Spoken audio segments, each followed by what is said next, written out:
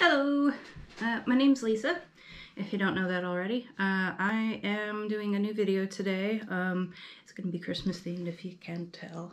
Uh, so, um, I wrote, write a blog.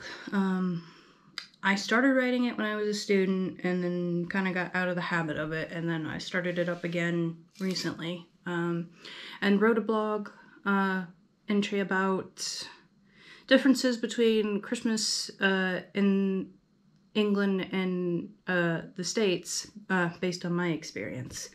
Um, so I thought, well, why not do a video version of that for YouTube? Um, I might talk about something else that uh, is not mentioned in my blog because something I've always been curious about. So, um, there's going to be about like 18 different uh, things I'll be talking about, so I hope it's not going to be too long. But I know some of the things I, I talked about, um, I think I was probably incorrect on, but that's just based on an assumption with living in the UK. Um, anyhow, um, this is all just based on my experience growing up in the Midwest in the United States and being from a middle class white family and then being in the UK and England. But Wales and Scotland will have um, probably different traditions. So, um, anyhow, um, so to start off with, uh, one main difference I have noticed is um, with how you refer to Santa, um, whether it's Santa Claus, Father Christmas, um, Kris Kringle, that sort of thing. Um, Father Christmas is more what it's referred to, I think, in the here in the UK. However, I know Santa Claus is used as well, um, but it was always Santa Claus growing up in the States. Um, so that's the first one. It's minor, but I know different countries refer to it in different languages. Um, um, and then there's also where Santa's from. Um, where growing up, it was always the North Pole. He lives in the North Pole with all his elves and his uh, reindeer. And uh, here it's Lapland. Um, you can actually go to Lapland as well and like have a holiday there and meet Santa, which honestly sounds like a lot of fun. Um, it, it's more common to say that uh, Santa is from like a Nordic background rather than some sort of magical background that I don't actually know, um, other than like the saint uh, that was Santa. I think it was a saint. I remember there was an actual Santa Claus, um, which is what it's based off of. Um, so the third thing is about presents. Um, now, one thing that kind of shocked me, um, and in, in all honesty, it's actually not such a bad idea, um, is not opening any Christmas presents until actual Christmas Day. Like, even if, like, you exchange it between friends, you, you wait to open it. Um, and I kind of like the idea because it's like it means you you know you've not like gotten Christmas all out of the way before Christmas Day, but at the same time, I'm used to like we when I was a kid growing up, I think we'd be allowed to have something on Christmas Eve. Usually, it'd be something my mom couldn't be bothered to wrap up. I remember one time she just gave me like a thing of five DVDs because I'd wanted a load of DVDs for Christmas, and she's just like, I forgot to wrap these, but you can have them now, which was nice. I- am noticing a new trend though that they have a Christmas Eve box. Um, somebody I used to work with, uh, they did a thing where uh, they'd all have matching Christmas jammies, um, and they'd have a Christmas film to watch together, and it's really a cute idea. Um, at my former employer, uh, anyone that wanted to uh, could do a Secret Santa. So obviously, put put your name in, and then you'd have a name randomly drawn for you. All right. So with the Secret Santa at work, um, we'd usually open up the Secret Santa gift. Uh, I remember there was one colleague that was like, no, no, you have to wait until Christmas Day. Like, there's some people that are very strict on the whole not opening till Christmas Day, which honestly, just do what you want. Uh, there is also a difference there. Like, when I was growing up, I was like in the Girl Scouts and we did Secret Santa then. Um, what we'd do, we'd have someone that we'd pick for and then we'd get them like three or four different gifts like small ones that like we had like a set budget um and then the last gift would be when we'd meet up before uh, christmas break and we'd reveal who we were as the secret santa whereas over here you don't actually know who gives you the gift and i remember being like i really want to know who got me this because i really want to thank them um, I remember doing it when I worked at a library too. Um, I do, I think we just all like brought in a random gift though. It wasn't really necessary. It was kind of a secret Santa, but you'd bring in a gift and then um, you just randomly pick one uh, from a pile. That that was a lot of fun. I, I wish I could remember it more. Another thing uh, that's a difference: uh, gifts for Santa. Like you know how for example, um, just pretend this is like a glass of sherry. Uh, in the UK, you give a mince pie, a glass of sherry, and leave a carrot for Rudolph. Um, whereas in the States, it's a glass of milk and a plate of cookies. And I do remember giving like a bowl of baby carrots to the reindeer um, another story I have, um, same colleague um, with their daughter, uh, they decided to do something really cute for her. I don't I don't think it was her first Christmas, but it was like the first Christmas where she, you know, the excitement at Santa was real. And they did hoof prints in the garden, in their back garden. I think it had snowed um, where she lives she's more likely to get snow than where I currently live. Um, but she put hoof prints in. They put her and her husband put hoof prints in the in the on the ground, and then they like sprinkled bits of carrots, like to show that the uh, reindeer had eaten the carrots that they left out. So I thought it was really cute, and I think it's nice doing things like that for for kids to like kind of keep the magic of it alive.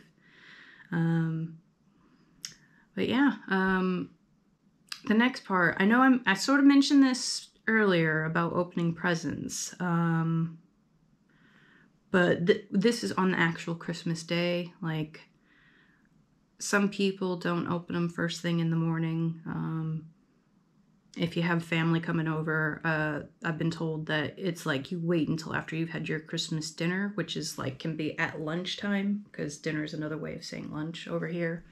Um, and I, I, as a kid, I can't even imagine that as like not being allowed to open presents until afternoon. Which, in some ways, is probably good for parents because it means they're not going to get woken up at the crack of dawn wanting their Christmas presents like I tried to do a few times as a kid. Uh, so, another difference with uh, Christmas in the UK between the US, I've noticed robins are a huge uh, thing at Christmas uh, because they're a sign of winter in the UK. Um, I mean, granted, I, I, tend to see them all year round, but robins actually look completely different to the robins that um, are in the States. Uh, I'll put an example to show the two birds just so you know what I'm on about.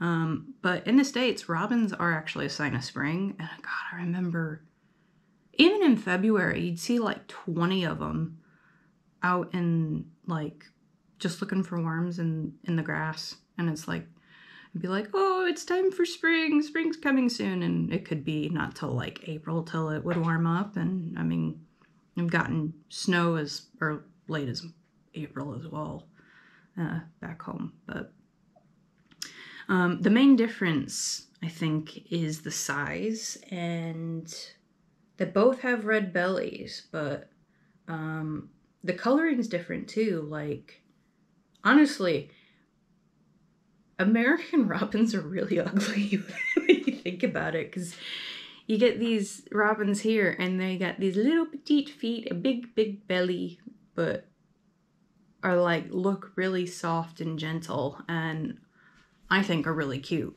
Um, I know they tend to refer to robins as the gardener's friend, which so whenever I'm out in the garden, I've I remember I was doing power washing of the um, patio that we have in the middle, and there was a robin basically following me around. I think hoping for some worms to pop up. I don't know if he ever got any though. Um, Christmas dinner. That's that's a big difference. I can say for sure. Um, when I came over here, I think my first Christmas, it was like, oh, what do you have at for Christmas? And it's like, oh, sometimes we have turkey, sometimes we have ham. And it was like, what do you mean you don't have turkey? And it's like, well, we have turkey at Thanksgiving, so we don't always have it at Christmas because those are so close together. You don't want to have such a massive meal. Um, I usually liked what um, my family did. We usually would get like a, sometimes there'd be turkey, but other times we'd have like a honey roast ham, and that was always so delicious. And even in our household now, we don't tend to have turkey because my husband's not a big fan of it. It's and we tend to prefer stuff like gammon or um, a beef roast. We've done that a few times. We've even gone out to dinner on Christmas. Um, we've gone to an Indian restaurant a few times, which I know I, I think we was ridiculed by a few colleagues for that, but it was like we didn't have to cook anything, didn't have to clean up, and it was something we enjoyed. It, it was still like nice and festive.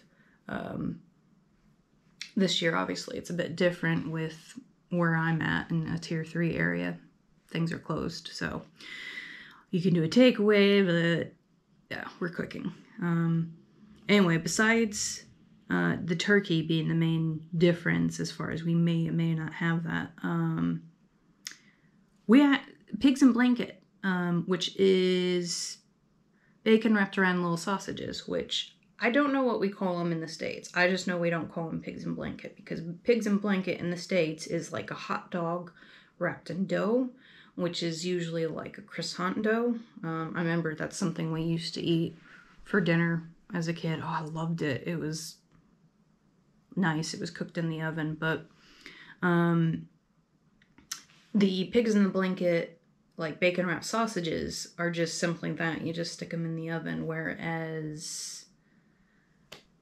think we usually had like brown sugar and maple on them. I know my aunt used to always bring them uh, to Christmas gatherings, and we just would demolish them. It's like they they didn't last long. They were like an absolute favorite. It was like a little, I guess, appetizer for us. Um, and other things are like different sides. Like Brussels sprouts are a huge thing at Christmas, whereas I know I've had Brussels sprouts in the States, but it wasn't at Christmas. I actually, I used to hate Brussels sprouts, obviously. My taste buds are different um, from when I was a kid, but um, plus I like to think of them as little tiny cabbages or something. Uh, the other thing, at least in our household, is Yorkshire puddings. You always have to have Yorkshire pudding. Uh, if you're having a Sunday roast or Christmas, we have to have Yorkshire pudding. I'm usually the one to make them because apparently I, mine are pretty good. So uh, I don't do anything fancy like Jamie Oliver, who I think has just botched the idea of Yorkshires by adding in mustard or something. I think, or, or no, maybe that was his toad in the hole recipe. But it's like, it's just simple. It's just eggs, milk, flour, bit of salt and pepper. That's all you need. Um, and it's utterly delicious. Um, let's see, uh, roast potatoes, that is a big difference. Always usually mash and roast potatoes, but I think back home we didn't have roast potatoes. I don't think I ever really had a roasted potato till I came over here. I mean, because we, we'd think, but we'd have it as like mash, we'd have it as a baked potato, um, and then like red potatoes were usually like semi mashed with a lot of like garlic and herb on there. But I'm digressing because that has nothing to do with the Christmas side of things. Anyway, um, so that's a big difference. Um, I know it's always been a very fancy setup, like looking nice and everything. Um, table fully set, food all put out, and passing stuff around. Whereas it was always like a buffet style where I'm from. And I don't know if it was different with other families in the States, but that's just how we did it. In any get togethers, we do like a buffet style. Um, and I liked it that way because it's like then you could choose what you wanted to have. You didn't feel obligated to have everything that was on the table. Um, and you, people usually went for seconds and thirds. That's a big Thanksgiving thing as well. But, um, with pudding or dessert, um, there's a big difference, I'd say. Um, like where I'm from, there's like all kinds of Christmas cookies that are made. Christmas cookie exchange is a big thing. I ne- I've never participated in it, but we always made loads of cookies to, I guess, share with the family. And then there'd be um, pecan pie and pumpkin pie. Uh, my grandpa would usually bring some sort of fruit pie to a family gathering. He did this all year round, but he'd always bring Miss Sherry's pumpkin pie and pecan pie and sometimes lemon meringue or cherry possibly apple. Um, I think those were the main ones. I'm pretty sure there was something chocolate related. That could have been stuff I started making. Over here, you have Christmas cake, which is basically a fruit cake with like a marzipan and royal icing topping. Um, there is mince pies, which actually aren't too bad. Um, I didn't like them when I first came over, but obviously they've grown on me. Um, Yule log, which is basically like a chocolate uh, coated Swiss roll. Um, those are delicious. Uh, cookies are usually shortbread. I think you don't we don't tend to do too many variants. I usually like to make snickerdoodles, which is like a cinnamon sugar cookie, um, because I read in a book somewhere that it was a Christmas um, German uh, origin Christmas cookie, and it's my dad's favorite. Um, I love cinnamon as well, so. Um, but pumpkin and pecan pie are definitely not a thing over here. Um, some people, the first time they try pumpkin is usually when I bake something with pumpkin in it. Um, let's see. Uh, I think that's it on the dessert side. Oh, before I forget, there's also usually, uh, when you have the uh, Christmas cake, you have it with custard or brandy sauce, um, which is another difference. I think if we ever had it, we'd have it with like whipped cream, maybe ice cream, but you'd have like a slice of pumpkin pie and you just like cover it with a load of uh, whipped cream from one of those uh, aerosol cans. Uh, Christmas stockings. I wrote about this in my blog saying that it's not as common over here, which I think is actually incorrect. Um, my we my husband when I first met him, they didn't do stockings, but that's because my husband obviously was too old for a stocking. But he said when he was younger, he had like this huge gym sock that would be filled with little trinkets and orange, that sort of thing. Um, and it'd be what he could open while everybody else was still asleep. Um, whereas we have the stockings at home, but it wouldn't necessarily be in your room because you could also you'd have the stocking in your room sometimes. I think over here. Um, we wouldn't have oranges in it. There'd usually be like a massive um, peppermint stick in there. There was always some sort of form of peppermint, little chocolates and little toys that were just small enough to go in there or presents like that. Um, but it would be the first thing I'd open, I think, just because that's what I like to open. Although occasionally I'd forget and then it's like, oh, I got my stocking. So I'd have more stuff to open. But um, yeah, I, I'd usually wait for everybody to, to get up and I would be the one waiting because I'm I was always so excited to, for Christmas Day. Uh, I mentioned already mentioned about cookies versus biscuits. Um, I'm trying to think. What else? Oh, that that's another thing with the um, with the cookies. Um, I'm just gonna say cookies because that's how I've always said it. Um, like it or hate it, I don't care. uh, so there'd be certain ones we'd make every year as it as it was a part of Christmas. Um, it would be like where I started doing um, the snickerdoodle cookies. Um, there'd also be sugar cookies, gingerbread men. I'm, you know, they probably do make them over here at Christmas time. Now that I think about it, with those two, but that's more like with your family. I don't tend to see it that much. Gingerbread tends to be sold all year round. You just don't necessarily have it as a gingerbread man. Um, but the sugar cookies would usually be like the kind that you'd have to cut out and then put sprinkles on and bake.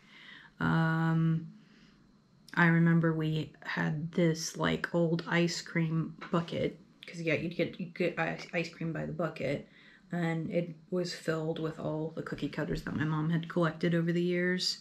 Um, gingerbread house that was another one that um, we do. I remember one of my mom's cousins had like a gingerbread making party where you'd like make your own gingerbread house. And I remember one of my cousins, her daughter, did like a Norman Bates themed one. I always thought that was so funny. Um, that's actually a lot of fun to do, especially as a kid. Um, I don't know if we ever ate it though, because it it just be set out, and obviously that wouldn't be good after a while. Um,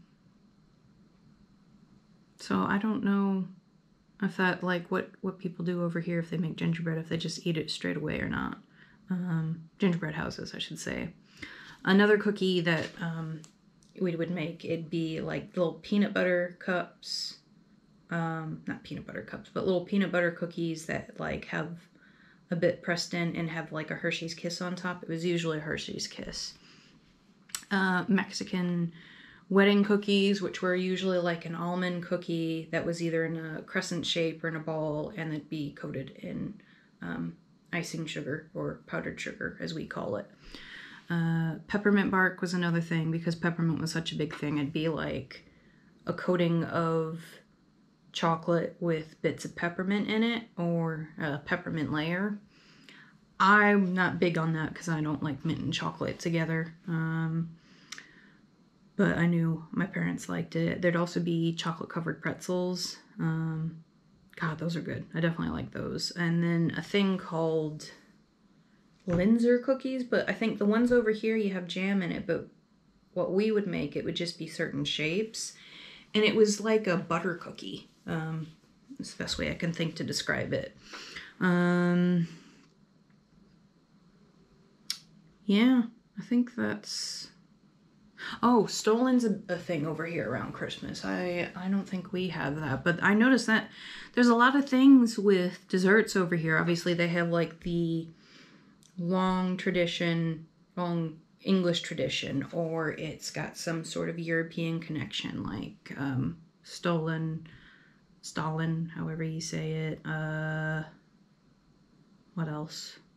There was something else in my head and I've forgotten. I, I, maybe it's not with the, the food, but different uh, traditions. Um, Christmas carols. Um, now I don't know if it used to be a thing over here. I know they Christmas carols has been a, a thing where you go to it and visit it, um, but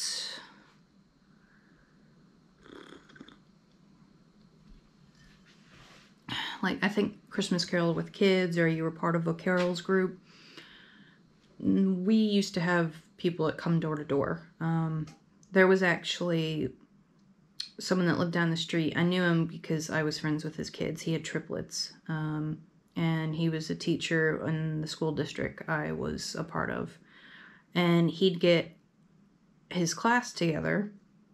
He taught sixth grade. And he'd get his class together, or possibly his team. I guess, I don't know if they did volunteers, probably did do volunteers. But they'd go around our neighborhood, uh, door to door, and sing Christmas carols. Um, that was always fun um, to see. And then I remember one time participating, like they let me, like I, answered the door and they let me come with afterwards. I do remember we were singing um, Dashing Through the Snow, and I was doing the version where you add stuff in. and uh, the teacher's wife actually hands over my mouth to stop me doing it because I didn't realize we weren't doing that version. I was really little. I can't remember how little I was, but I was just like, well, I want to sing that one. Um, lights.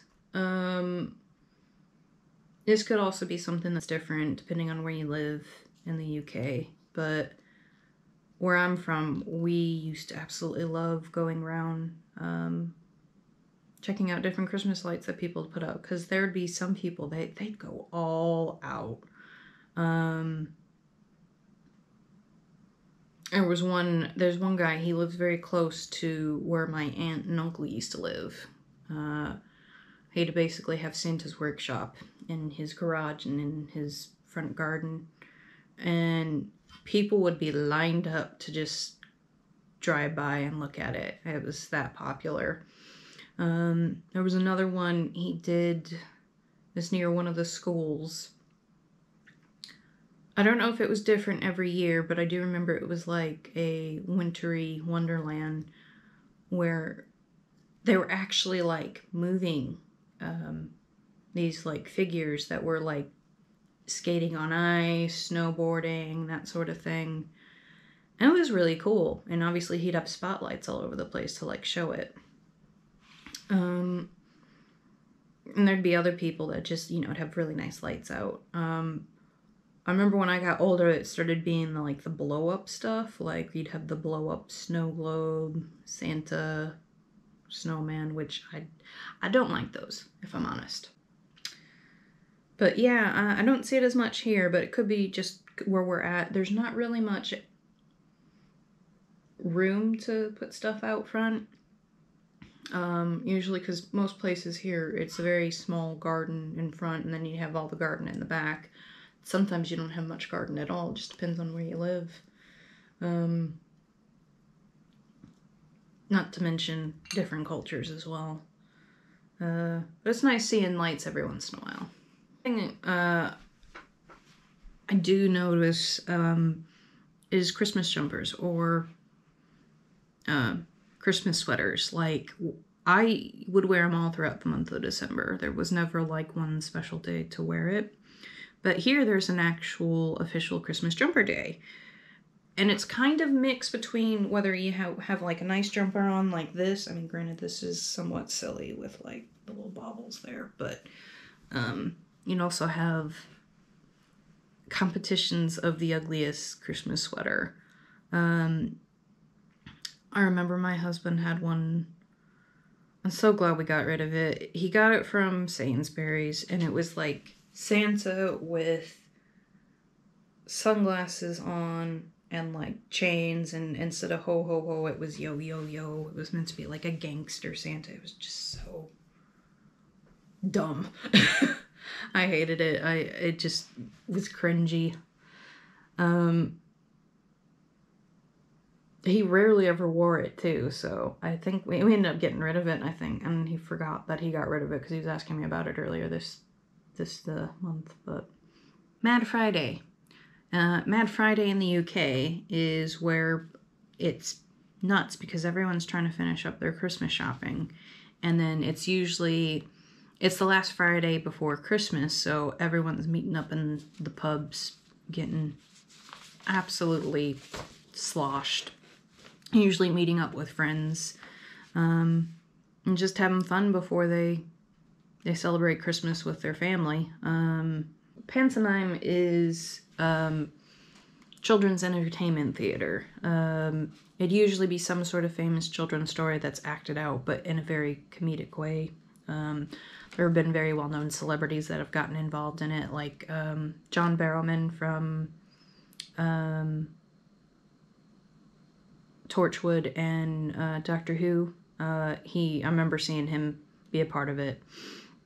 But it was one of those things where uh, kids would all get together and go. Um, I honestly, I wish I knew more about it beyond that. I don't know if like there's audience participation or anything.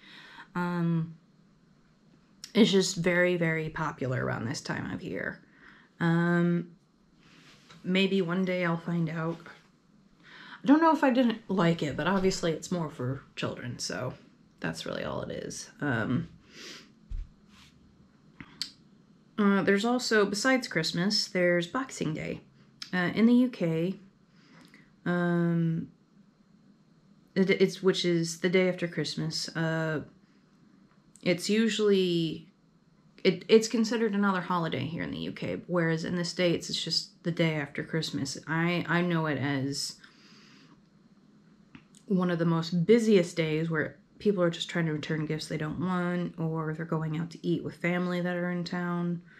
But here is just another holiday. Um, and generally, most people are entitled to that day off of work unless they work in a certain industry. Um, I don't know if restaurants or pubs would be open. I know if you were working in some sort of corporation, you'd be off. Um, but there would be foot. Sometimes football's played on TV or like locally. Um, I don't know if Mike's ever gone to a game when it's been a Boxing Day football game. Um, I think usually he prefers the idea of watching it from home because it's just so damn cold out. Um, but historically, with Boxing Day, uh, it's a day in which the needy would be given money or boxes of good. Um, I don't, it's not really practiced the same now. I know there's like times where there'd be like a charity box to give at Christmas to needy families, but that'd be like the lead up to Christmas. So it's, I guess, done in a different way now. It would be Christmas uh, Christmas markets. Um, Christmas markets are usually in the lead up to Christmas. Um, in different towns, it'd be basically like a German Chris German Christmas market or a, or German style. We don't have anything like that in the States. Uh, we would have craft fairs months in advance before Christmas. It could be related to it. Um, but that'd be like from autumn up until Christmas, and even we tend to do that all year round. But um, that's a Christmas markets are definitely a European influence. Um, but I've been to a few actually kind of nice um, if it's not too busy. Um, I've been to Leeds, I've been to York and Manchester as far as their Christmas markets go. Um, and usually all like there'd be like wooden stalls they'd have set up with trinkets or crafts. Uh, there'd be food stalls. Um, hot chocolate. Uh, I remember, I think it was the one in Manchester having, I had warm Stollen uh, with custard from one. It was like a massive piece of it. And then there'd also be, it'd be very popular to have German sausage um, of some kind. Uh, some of the uh, Christmas markets would have a makeshift pub. I remember the one in Leeds had like a huge line out the door. Um, There'd also be other things like sweet stalls that had like marshmallows and fudge. Um, just really all kinds of like little Christmassy things. Uh, the Manchester one is huge. Like it's miles long, I want to say. Um, The one I've really enjoyed though has been York. Um, I generally love York overall. Um, love visiting there any time of year, but it's so the last thing I want to talk about is wassailing. Um, I remember hearing it in a song, uh, or a Christmas carol, really. Um, but never really knew what it meant. Um, so apparently, I got this from verychristmas.com, I think is the website. I'll have to double check that. It's a very ancient custom. Um, the word wassail comes from the Anglo-Saxon phrase ways hail, if I'm saying that right, means good health. Uh, but it would be like a type of drink which was made of mulled ale, curdled cream, sounds delicious, roasted apples, eggs, cloves, ginger, nutmeg, and sugar. Um, was served from huge bowls, often made of silver or pewter. Now, it's definitely not something that's really done today. I guess, I don't know if like eggnog's a variation on that. Um, but I've never known anyone to do that. I think it's probably more of a southern thing as well. Um, if they still do it because of like where Somerset is with the apples.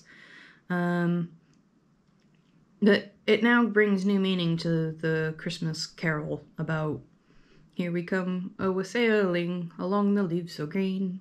Here we come a wassailing so fair to be seen. Love and joy come to you and to you your wassail too. Oh god, I know it's horrible. Don't ask. I'm usually a better singer than that, but now I know what it means as far as good health as well as type of drink. So for me, this has just been, you know, my experience with Christmas in the UK and the US. I mean, there are some differences and some similarities. Oh, before I forget, I can't believe I'm actually forgetting to mention this. Christmas crackers. Why is that not even mentioned? It should be in there. Uh, Christmas crackers are something I absolutely love in the UK where we don't have in the States. We don't have anything quite that fun. I think the closest we get is uh, the wishbone of a turkey and you try and break it, which is very painful um, and doesn't come with any prizes or a cute hat to wear. Anyway, um, let me know if there's any Christmas traditions that you know, I maybe didn't mention through, through the UK or even the US or even some other culture. Because um, obviously, I only know from my own experience, and I'm just interested. Like, I know Japan, KFC is a big thing uh, at Christmas. Um, but it's like, what other, what do other countries tend to do? And like, how do they tend to celebrate? So, uh, that's it for me. Uh, till next time. Bye. Just has like a nice feel at Christmas. What the hell? He's home. Um, uh, where it goes, here we come sailing along the leaves so green. Come, I don't know. Hi. Record. You have one people that are not halal, haven't you? Hmm? The mint in them's not halal. Is it? I don't know. It's reindeer mint. Shut up. Go away.